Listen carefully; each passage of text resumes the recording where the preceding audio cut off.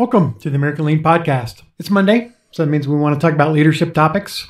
And whether you're leading your employees on site or in today's world, if you're leading people remotely, I want to talk about how to coach employees to their possibilities. We'll get into the topic right after the intro. Welcome to the American Lean Podcast, where we cover five topics in five days in about five minutes. The only place in the world where you can get daily lean coaching. Your host is Tom Reed, and he shares his 30 years of experience and covers leadership, culture, entrepreneurship, lean methodologies, Industry 4.0, and interviews special guests on their lean journey. We're glad you're here, so let's go. Welcome in to the American Lean Podcast. It's episode 38. And like I talked about in the intro, I want to provide three tips for coaching employees to their possibilities. As leaders, it is important to remember that we are there to coach employees to their potential. This often gets overlooked because we get busy running the business, attending meeting after meeting, by the way, many of which are non value added, and then with the little energy we have left, we get around to doing our hardest work coaching and directing employees. What requires even more energy is coaching an employee or a group that isn't performing to expectations, which is often our fault as their leader. Usually we think about having two options in this scenario. Number one, we can let them go.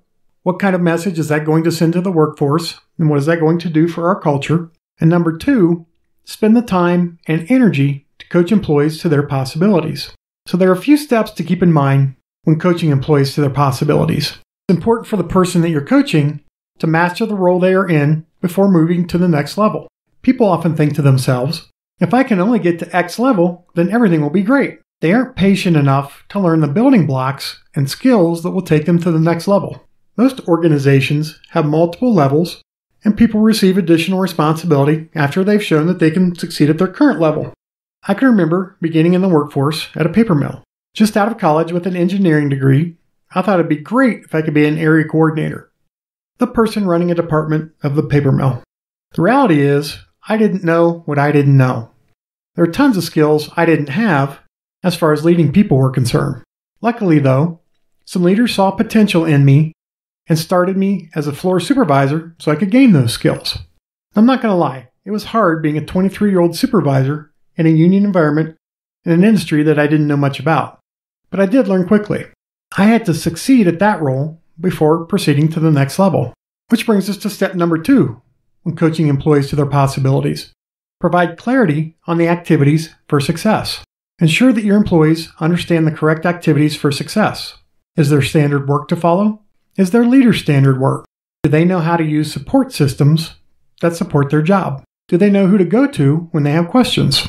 These are items that need to be in place for your employees to be successful.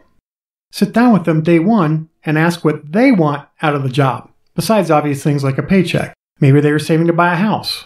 They might want to learn new skills. Understand what is important to them so you can support them if they lose sight of the bigger picture as time moves forward. Step number three when coaching employees to their possibilities is to have daily, then weekly, then monthly accountability. In your conversations, let them know that you believe they will be successful and begin the process with a twice daily check in. At the beginning of the day, let them share what they plan on doing that day. Then have them share what they accomplished at the end of the day. If after two weeks they've been successful, then let them check in on Monday and Friday for the remaining two weeks. If they've been successful during that time frame, chances are they are on their way to working toward their possibilities and you can keep in touch with them on a monthly check-in. Now I personally have used this technique to coach employees.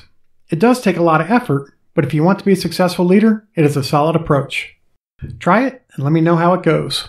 Hope you enjoyed our time together today. Now remember, consuming information is great, but I want you to take this information to make yourself and your company a little bit better today. This podcast is for you, so if there are topics that you would like me to cover, or if you'd like to share your company's lean journey, please contact me at tom at americanlean.com. Full show notes can be found at americanlean.com slash blog, how to coach employees to their possibilities. Until tomorrow, have a great one. Us today. As always, we are honored to serve you, and we hope that you and your company are getting a little bit better every day. Please subscribe, rate, and review this podcast and share it with others in the lean and business community. If you'd like to turbocharge your lean efforts, please visit us at AmericanLean.com.